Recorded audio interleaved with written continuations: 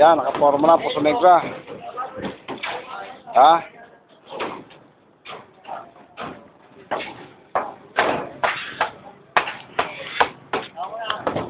Ito, open. Ito, CR.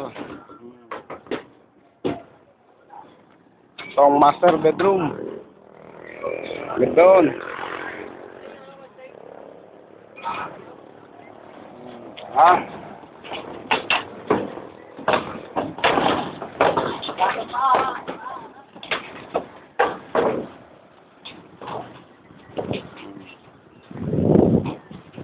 baba tayo. Oh, ito yung hagdan na inaakyatan. Oh, bababa tayo ha. Oh, hop. Ano boy? Ano boy?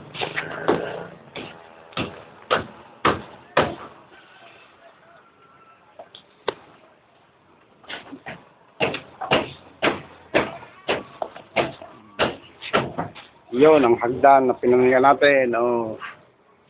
Itong na lang to. Ayan. Oh, kwarto. Kwarto. Ito lang. Oh. Paso na lang. Ah, dadali na. Labas tayo, labas.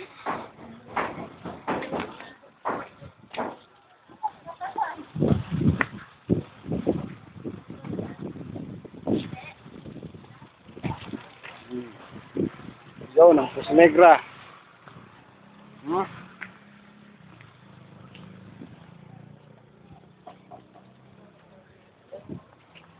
Hmm, yan.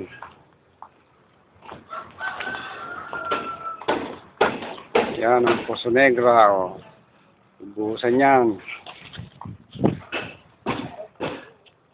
Hmm, yun. Tayo-tayo na. Ha?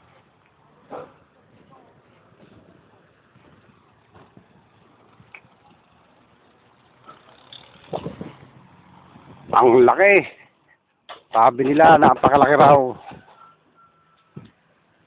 Oh, isa pa. Ha? May papakita ko sa iyo. Dito sa labas.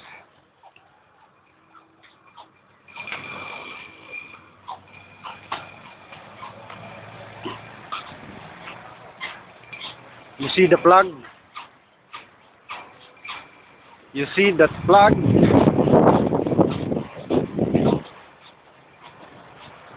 Oh. That flag is in front of our house. This coming May 28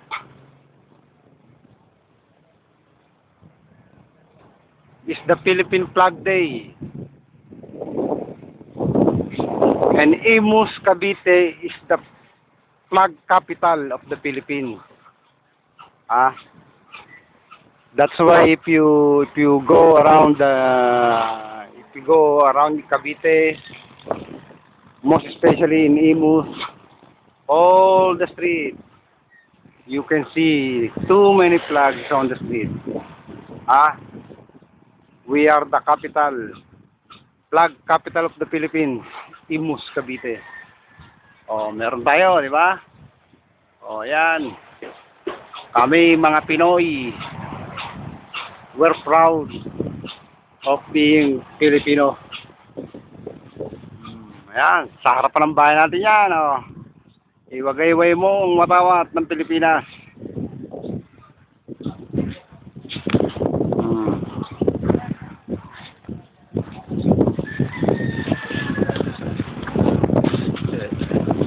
Hindi ka nakita, boy. Hindi ka nakita. Dito ka, dito ka, dito. Dito ka. Oh, yan.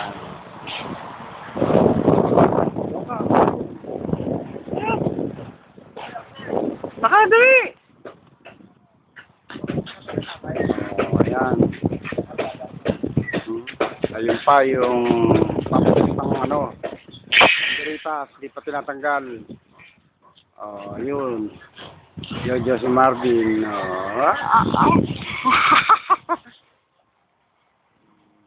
Ah, ya, sa kumpay natin yan, ha? Okay.